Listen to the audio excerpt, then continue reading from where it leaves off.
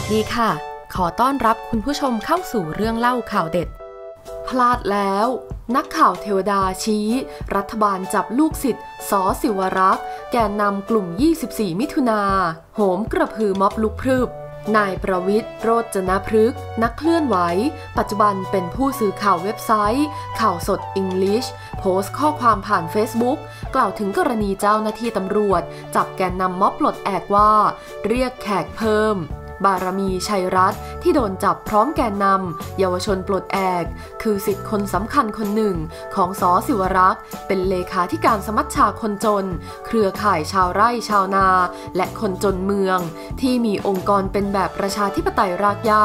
มีส่วนร่วมสู้ตั้งแต่ต้านเขื่อนปากมูล งานนี้เท่ากับเป็นการเรียกแขกปลุกลุกคนต้านเพิ่ม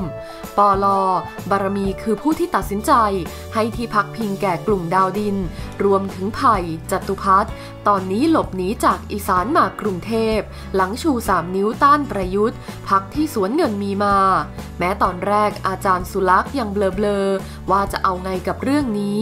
บารมีอายุ 53 และวันนี้เขาขึ้นเวทีเยาวชนปลดแอก เขาเป็นผู้ไฮปาร์คที่อายุมากที่สุด บารมีบอกผมว่า ทนายอานนท์ขอให้เขาขึ้นเวทีเพื่อขัดตาทับ คนอย่างวนิดาตันติวิทยาพิทักษ์ตำนานแห่งการต่อต้านเขื่อนปากมูลและสมัชชาคนจน ฟูมฟักให้เขาซื่อสัตย์ต่ออุดมการณ์มาอย่างดี คงเส้นคงวาตลอด เกือบสามทศวรรษที่ผมรู้จักบารมีแฮชแท็กปอแฮชแท็กประชาชนปลดแอกก บารมีชัยรัตน์ อีกคนที่ถูกจับพร้อมแกนนำเยาวชนปลดแอกเมื่อคืน ชื่อ สุวรรณาตาเล็ก แกนนำกลุ่ม 24 มิถุนายน เพื่อประชาธิปไตย เคลื่อนไหวเพื่อรื้อฟื้นความทรงจำเรื่องวันอภิวัต24 มิถุนายน 2475 มากกว่าทศวรรษก่อนกระแสจะขยายสู่คนรุ่นใหม่ในปัจจุบัน 10 กว่าปีกว่า มีไม่กี่คนที่ระลึก 24 มิถุนา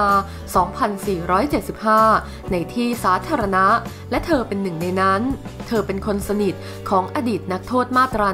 112 สมยศพฤกษาเกษมสุข ลูกตาลเยี่ยมนักโทษทางการเมือง และนักโทษมาตรา 112 ในคุกมาโดยตลอด พวกที่ออกมาแล้วคงไม่นิ่งนอนใจ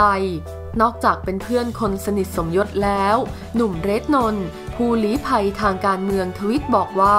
ยังเป็นเพื่อนนักโทษทางการเมือง ที่ไม่เคยทอดทิ้ง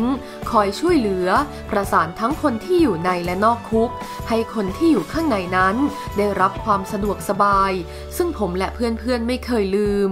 เซฟลูกตาลแฮชแท็กปอ สวรรณา ตาลเล็ก ขอขอบคุณข้อมูลดีๆ จากไทยโพสต์